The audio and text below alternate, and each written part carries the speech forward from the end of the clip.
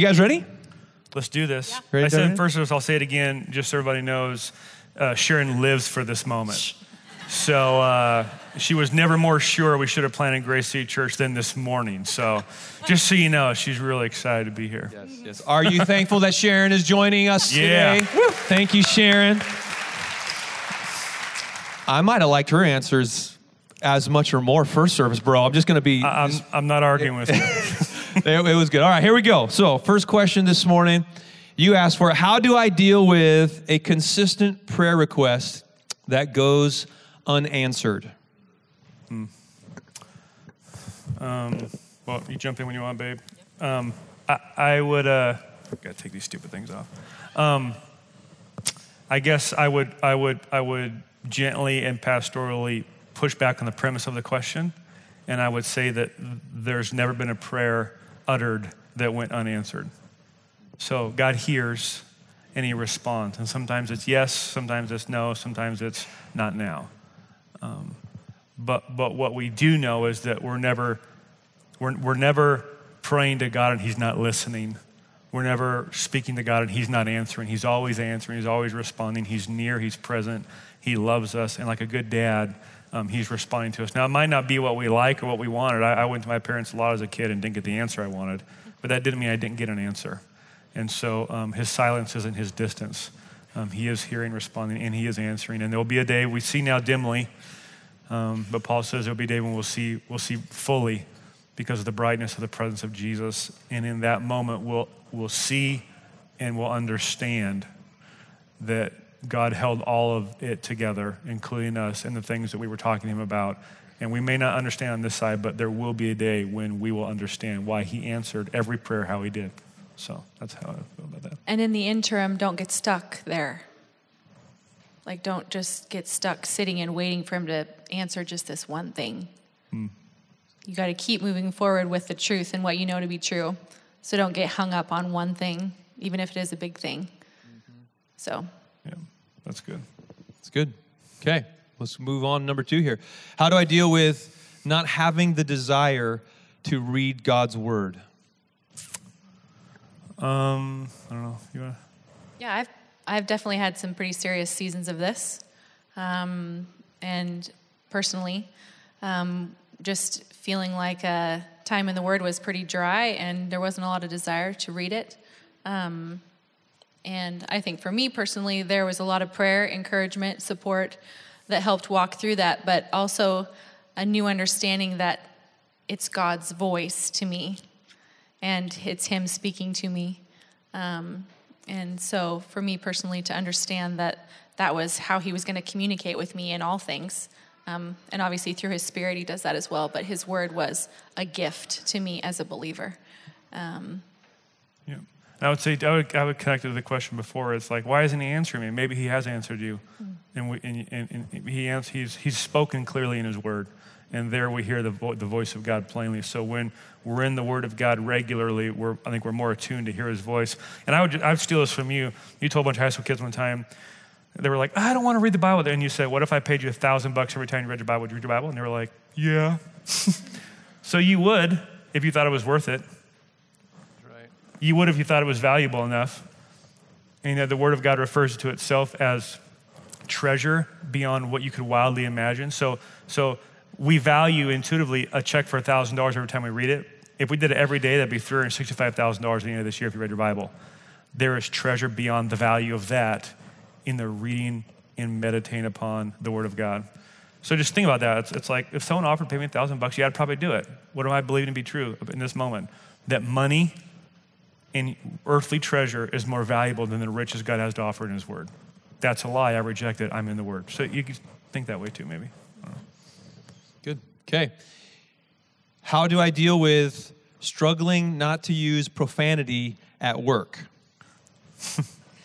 you want to answer that one? yeah, I deal with that all the time. I wouldn't even say it's a struggle. Just let it go. Oh, that was helpful. yeah, that, yeah, yeah. We're not recording this one, are we? Scratch that one. Yeah.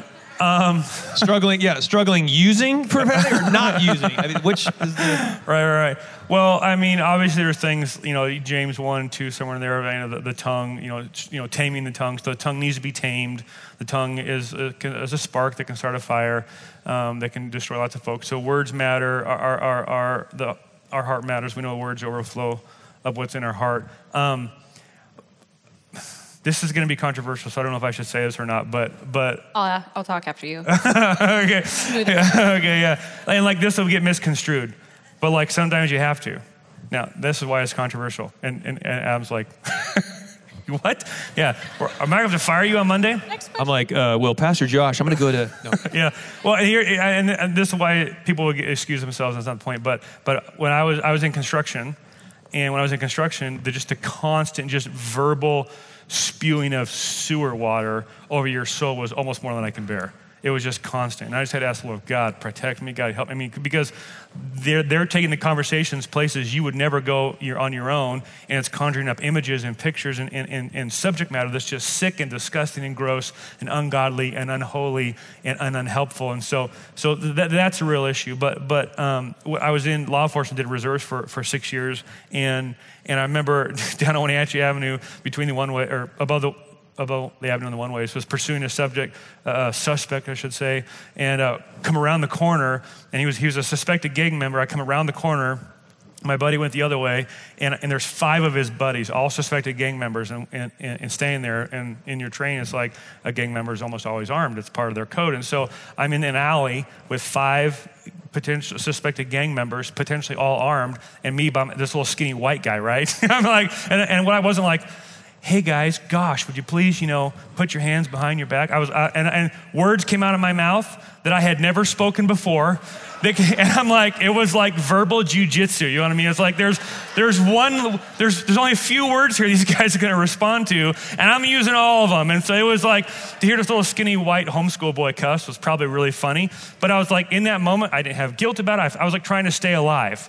And, and like there was one there was one way they were going to understand me to talk. And so I've talked with Christian law enforcement officers. They're like, gosh, like sometimes whatever, and they struggle with it.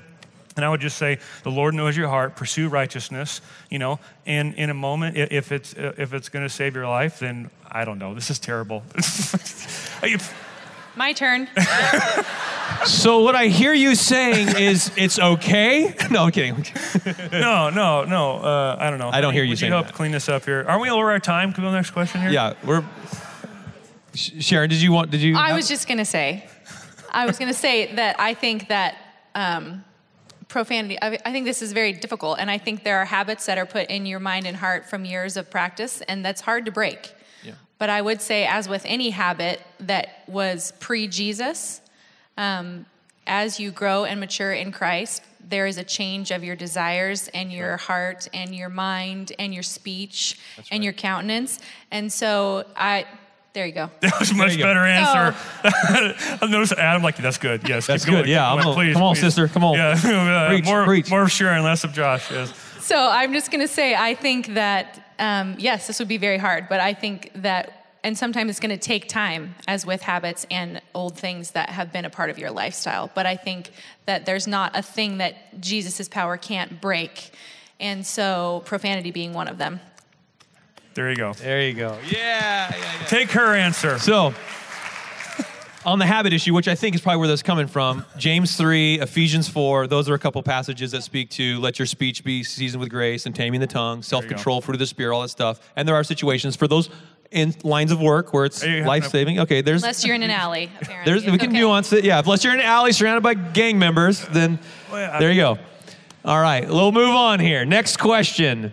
How do I deal with America's politics, social, and economic collapse? This, this the question was the future potential coming collapse as we contemplate taking on a significant building project. And there was a version of this question first service that is in here again. So here you go.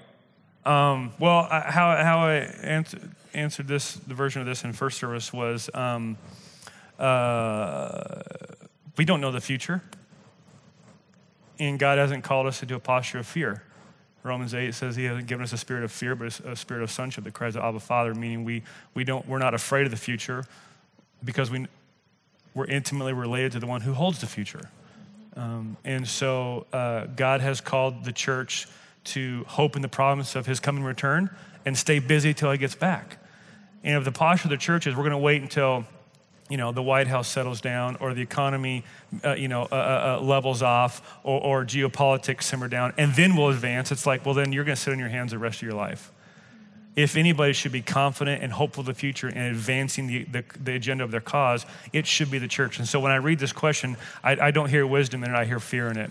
And that's not, we're not a people of fear, we're a people of hope because we know who holds the future. So we're moving forward. That's good.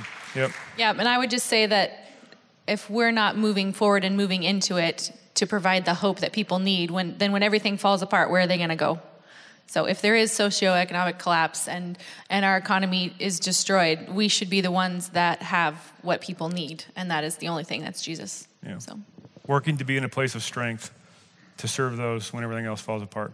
Yeah. That's good. Good. Okay, let's we'll keep rolling here. So how do I deal with educating my children? Homeschool, private school, or public school? Well, there's only there's one clear answer on the board. Obviously. Yeah. Um, I'll let Sharon speak to this as well, but oh, go ahead. Or do you want me? No, go ahead. Go ahead. You have something. Well, I blew the last couple, so. I'm after you. Okay, yeah, you clean up. Yeah. So I I would say um, a couple principles to, to stand on is that you as a parent are 100% responsible for the education of your children, no matter what option you choose. Um, and there are inherent challenges in all three options on the board. And if you think there's a silver bullet better than the other, then, then you're asleep at the wheel. Um, every, every option, whether it be homeschooling, private school, or public school, will present its own set of unique challenges that you need to be prepared to face. And so the answer, I think, is pick your problems. And some parents decide to pick problems that come with public school. Some parents decide to pick problems that come with homeschooling, and there are. There are many. Some uh, families decide to pick problems that come with private school, and there are many. Um, I don't care which set of problems you pick, just understand the set of problems you're facing consider the frame of your child and then make a commitment to stay engaged in the process and shepherd them through the process as the one primarily responsible for their education, not the school system and, and, and not the teachers. And then don't think that you've picked the road of least resistance because then you're asleep at the wheel and you're going to get bit. There are some parents who should never homeschool. The last thing they should do is homeschool. They would be hurting their kids if they did. They're not equipped for it. They don't have the capacity for it. They don't have the time for it, whatever it may be. And so don't look down on these other means of grace to educate your children and don't unplug thinking that one will be the silver bullet providing the answers and you, and you don't have to be involved. So pick your set of problems and be involved through the whole process and ask God for help because you're going to need it. Yep. I agree. Our, we do one year at a time, one kid at a time. Each of our kids may be completely different too. So I think the frame of each of your children um, is is a a little personal thing. They are their own little person and deciding what they can and can't handle when and and where. So that's another piece that we implement a lot is every year we evaluate with our kids. Good job. Okay. How do I deal with death? Hmm. Uh, you come to our Life After Death series. well, we got to be quick. Boom. Shameless plug. Starts next week. Three services, 8 o'clock, 940, and 1120. Absolutely. Absolutely. Three easy payments of 1995. Uh, do you want to save it to next week? Move No, on? We're going to talk about it for nine weeks. We're going to talk about it. Come back next week. There you go. Show up. That's good. Absolutely. We will talk about it. Here we go. How much, how do I deal with, how much do I really need to tithe? 10% or more? So this More. question about more. Okay. Well, that was I think there was, it, Next. it actually said, someone put 28%. So Absolutely. 10% or 28%. I'm like, are of those the options? I don't, I didn't, Totally. Um, uh, how much are we? Well, uh, just the language here. Tithe is ten percent, right? And so the the question is kind of confusing. How much should I tithe? How much ten percent should I give? Well, 10, you know, so the, the word tithe means ten percent. We believe the Bible teaches that followers of Jesus are to give the first fruits of what He's given to them back to Him to as a as an act of faith and trust and acknowledging that he's the giver of all good things and he's the owner of all things and it reminds us physically and tangibly that we're stewards not owners and so uh, i think the bible's injunctions are clear we're to give back of the first fruits and uh, the, the, the 28% probably came from the old testament where you know it, it, it's if you look at it um, God set laws in place where between the tithe and the offerings and caring for the Levitical tribe, you know, it was about 28, 30% because they, they were sustaining, you know, um, a different kind of form of government uh, in terms of a, of a, a theopoly. So, so, um, so I wouldn't think those restrictions aren't in place in the New Testament. But what is clear, I think the tithe, I think you could make an argument that the tithe is still in place for, for believers and, and that it's a good place to start. So we often say the tithe isn't the ceiling, it's a starting place. Right? It's not the roof, it's the launching pad. And, um, and I would just encourage you, if you're not, to begin. And I realize different people, different parts of their journey and trust and faith in God.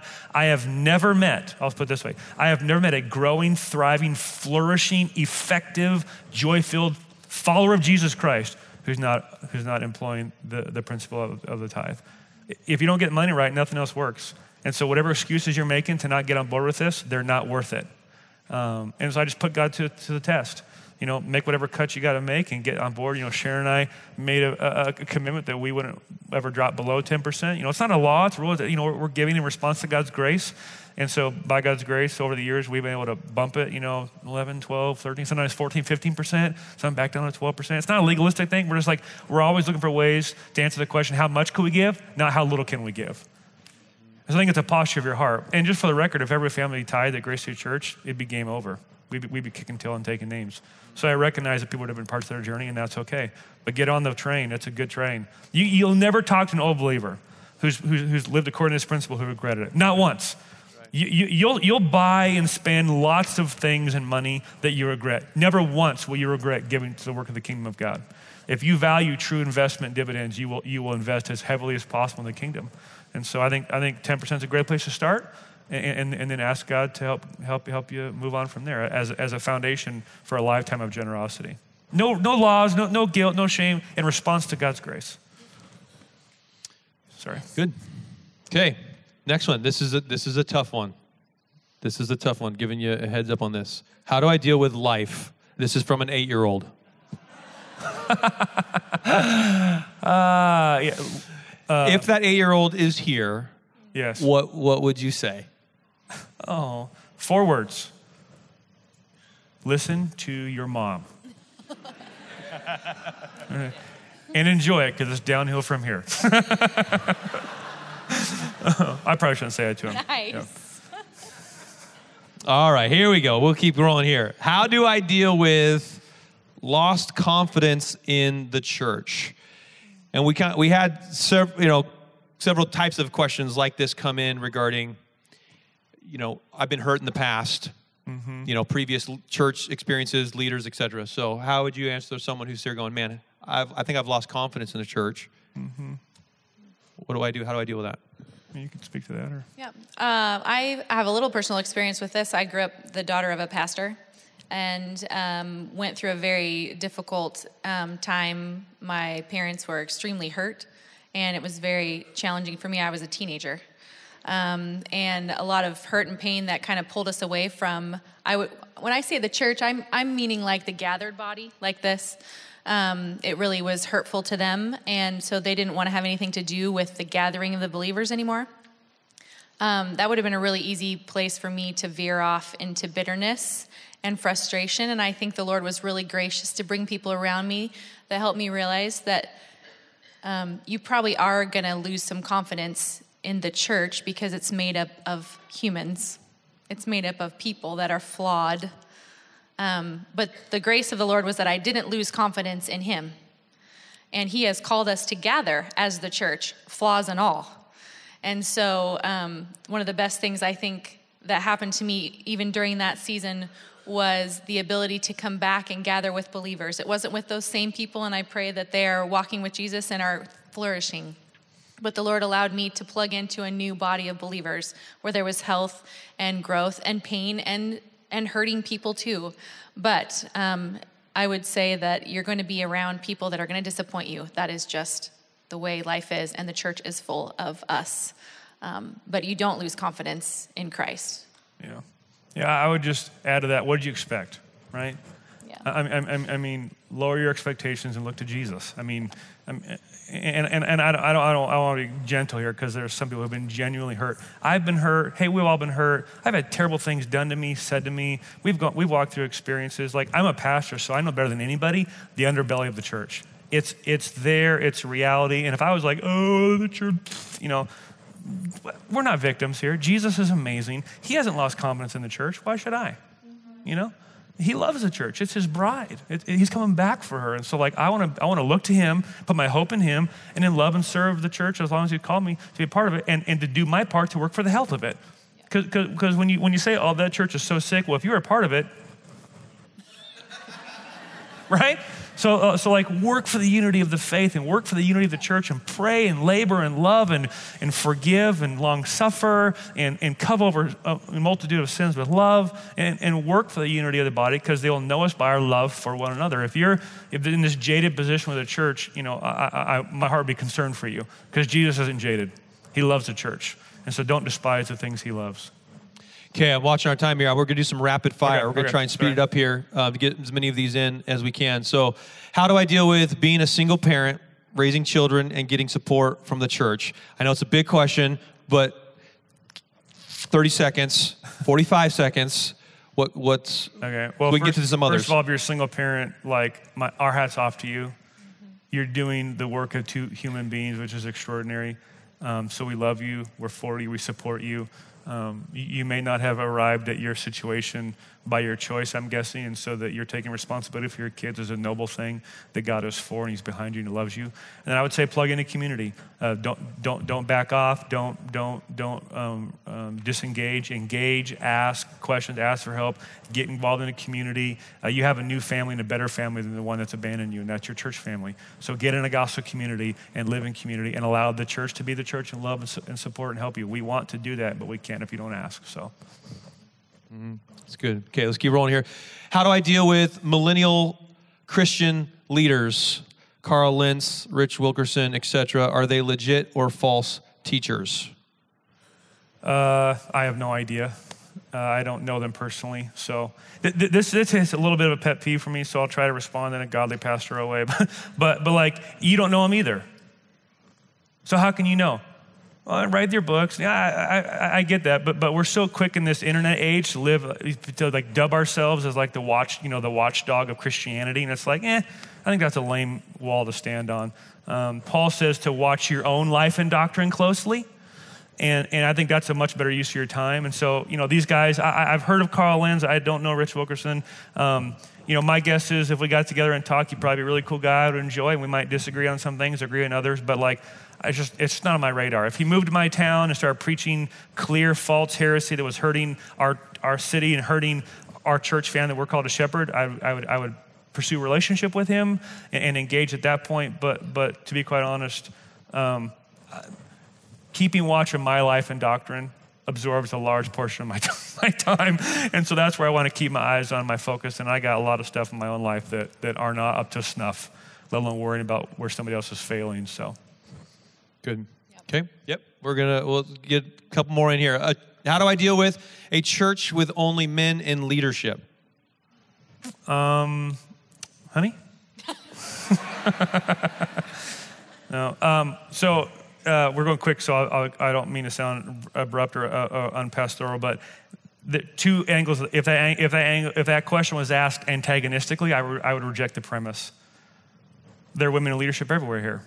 Brittany and Kaylee are leading men and women and overseeing Grace Kids. We have, we have uh, wives leading gospel communities with their husbands. We have women, single women leading gospel communities full of men and women, doing an incredible job. So, so you know, Susan leads our A team of 20 uh, volunteers to oversee the administration thing. So I think everywhere throughout the organization, if you like to say, or the family, uh, I look and I see competent, this is, this is almost as offensive to me, competent, godly, women of capacity, using their gifts, leading, loving, serving. Now, if this was an honest question, you know, in terms of like, well, how come I don't see them on, on, on, the, on the stage as much? My answer would be, well, we have convictions, uh, biblical convictions that God has called elders to, to lead and govern the church, and that's a role that God's appointed to men. And so uh, our theology tells us, our complementarianism tells us that, that, that there are distinctions between the genders um, in the roles God's given them, but there's no distinction in value. So distinct in function and equal in value. And so um, we believe that God has called the church to be led by, by male elders, um, and that's the sing, singular office, which is very small. Um, that he restricts to men. Every, every, everywhere else is open for both men and women to serve and use their God given calling, gifts, and capacities to serve the church. And, and I will say that, that different Christians uh, come to different places on this. I have good, dear friends who, who, who, who, who, uh, who uh, don't read certain verses in the Bible. No, I'm kidding. Who, uh, who, who, don't come to this position, and that's totally fine. And, and they have women as elders in their church and preach in their church, and, and I got no problem with that. It's an open handed issue. This is our conviction, it's an intramural conversation, and, and, and, that's how we, we believe we're being faithful to the Word of God in that way. And I will add on top of this, and I know we're late on time, but like we do have a heart for men because we do believe as men go, the cultures go. When men get it right, things go well. When men get it wrong, things goes really bad. Historically, you don't see a lot of women dictators killing millions of people, right? I mean, there is a leadership thing in the world that's true that when men lead well, people flourish, and when men fail to lead, people people uh, flounder. And so uh, we, we unapologetically have a heart to call men, punch them in the face, man up, step up, carry on firewood, and follow Jesus and respond to the call of God to lead in every sphere of life He's given you. Because quite frankly, women are awesome they're there, they're ready to go. It's the men who oftentimes drop the ball. So. Yep. Well, we're we're a couple minutes over time. I think we got to wrap up, but I uh, um, going to ask Sharon if you would you would um, pray for us as we close our time. Thank you. Heavenly Father, thank you so much for this time this morning, and Lord, we're so thankful that not a question that we have, or a concern we have, or a fear that we have is beyond you. Lord. We're so thankful that you have the answers, that you are sovereign, that um, there's not a thing that surprises you. And for that, we are so thankful because it's in you that we can put our hope and our trust and our faith. I pray that uh, you would be with these people this morning and any questions or concerns they have. Lord, may you, by your Holy Spirit and through your word and through your people, uh, minister to them and help them this morning, Jesus. We just thank you again for the opportunity to gather as your church and worship you this morning. In your name, amen. Amen. Let's thank these guys again for doing their best, did a good job answering these questions.